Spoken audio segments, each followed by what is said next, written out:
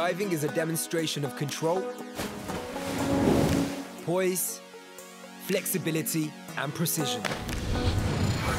And the brand new state-of-the-art Sandwell Aquatic Centre hosts five days of enthralling action as divers compete for six synchronized diving Commonwealth gold medals.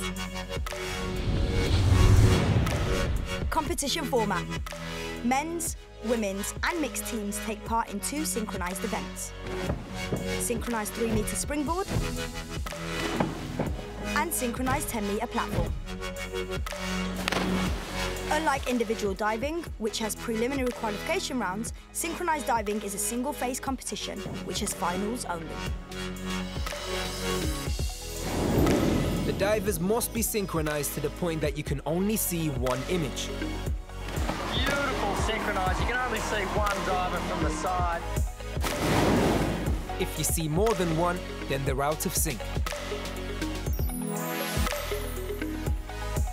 Divers demonstrate incredible skill in mastering the art of synchronicity, particularly in the mixed event, where divers have to allow for differences in jump power, length of run, spin and twist rate, and the way they twist.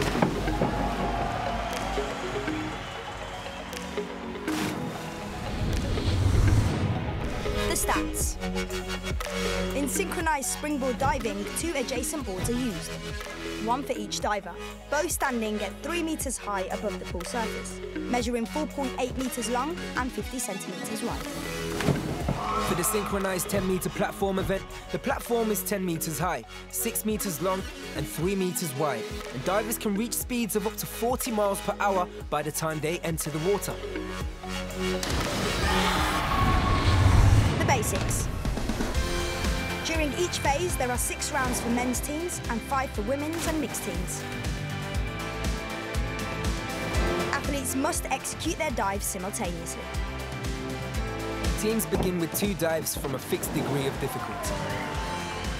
The following dives are assigned a degree of difficulty based on somersaults, position, twists, approach, and entry. There is no limit to the degree of difficulty of these dives. Dives are scored by a panel of 11 judges. Six score the execution of each diver, and five judge the synchronization of the pair. Key moves. There are six different dive groups. Front,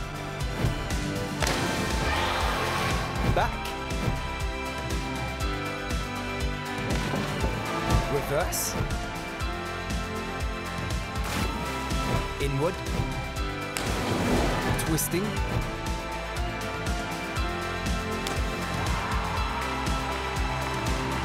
and arm stand.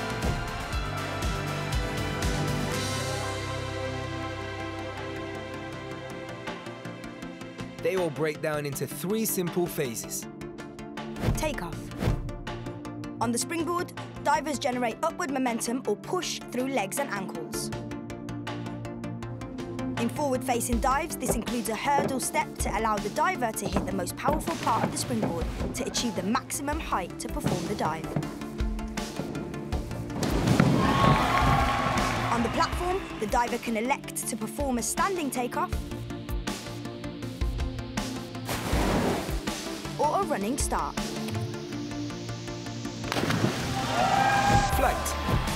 The power and height of the jump allows the diver to perform multiple somersaults and twists in their chosen position.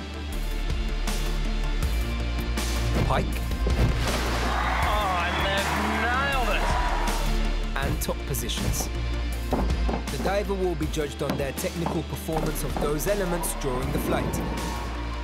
Entry. The aim is to enter the water vertically with no splash, achieved by a rip entry as the diver pushes through the surface of the water.